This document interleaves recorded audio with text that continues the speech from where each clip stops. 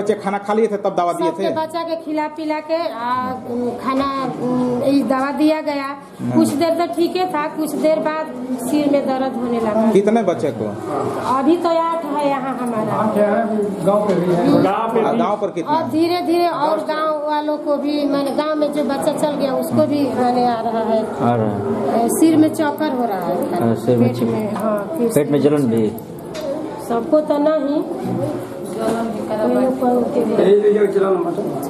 क्या नाम है आपका? है क्या नाम है आपका?